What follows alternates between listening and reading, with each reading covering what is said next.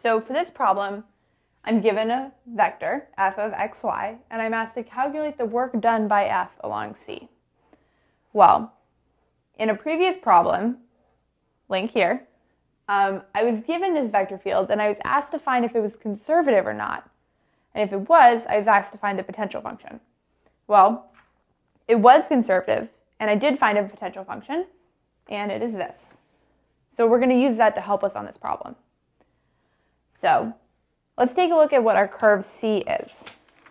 So C consists of the top half of a circle of radius 1 centered at the origin, oriented clockwise.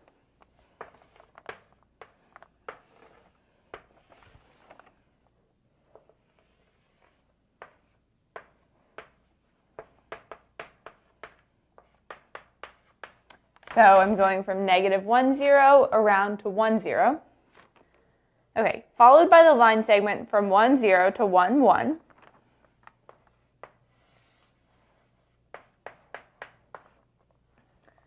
Followed by this line segment from 1, 1 to negative 1, 0.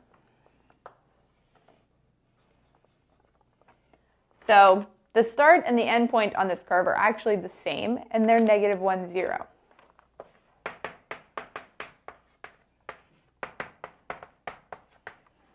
And let's recall, using the fundamental theorem of line integrals, that if my vector field is conservative, I'm just going to have the potential function value at the endpoint minus the potential function's value at the start point to find that line integral.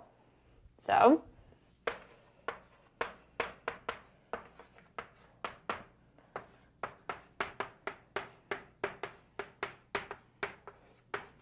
I have that this line integral is going to equal the function value at negative 1, 0, the endpoint, minus the function value at negative 1, 0, which is also the start point.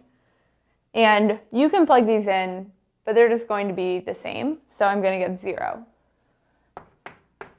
And let's assume that f of xy is a force field given in newtons, and x and y are both measured in meters. So this is actually going to be 0 joules